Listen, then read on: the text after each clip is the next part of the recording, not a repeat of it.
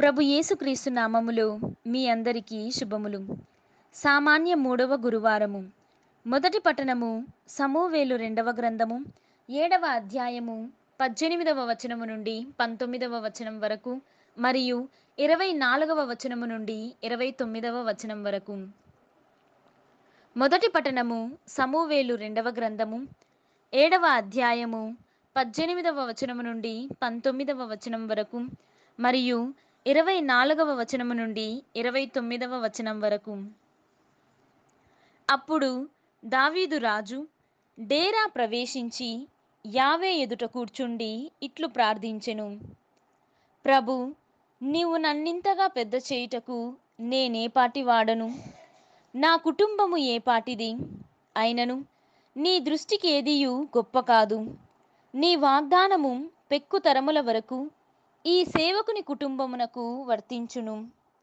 ఈ జనులను కలకాలము వరకు నీ వారినిగా ఎన్నుకొంటివి. నీవే వీరికి దేవుడవైతివి. ప్రభు నీ ఈ సేవకునకు ఇతని కుటుంబమునకు నీవు చేసిన వాగ్దానమును యుగ యుగముల వరకు నిలబెట్టుకొనుము. నీవు చెప్పిన ప్రకారమే చేయుము. సైన్యముల కధిపతి యావే ఇజ్రాయేలుల దేవుడని ప్రజలు నిన్నెన్నడును సన్నుతింతురుగాక. సేవకుడగు దావీదు కుటుంబము నీ ప్రాపున కలకాలము నిలుచును. సైన్యములకు అధిపతివై ఇజ్రాయేలులకు దేవుడవైన నీవే. నేను నీకొక మందిరమును నిర్మింతునని ఈ దాసునకు తెలియపరిచితివి. కనుకని నేడు నీ ఎదుట నేను ఈ ప్రార్థనను చేయ సాహసించి తిని ప్రభు యావే నీవు యథార్థముగా దేవుడవు. నీ పలుకులు పరమ సత్యములు నీ సేవకును గూర్చి ఈ మేలి మాట పలికితివి.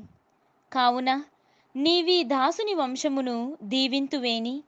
నా కుటుంబము వారు కలకాలము నీ ఎదుట బ్రతికిపోవుదురు.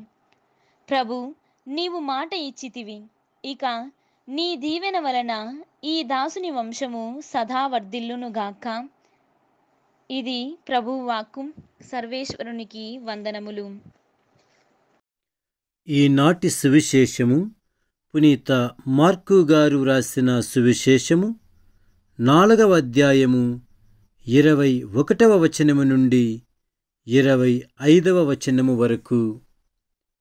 మరల ఆయన వారితో ఇట్లనెను ఎవడైనను దీపమును వెలిగించి దీపస్తంభముపై ఉంచునుగాని గాని క్రిందగాని క్రింద మంచము క్రిందగాని ఉంచడుగదా దాచబడినదేదియు బయలుపడకపోదు రహస్యమైనదేదియు బట్టబయలు కాకపోదు. కనుక వినుటకు వీలున్నవాడు వినుగాక మీరు శ్రద్ధతో ఆలకింపుడు.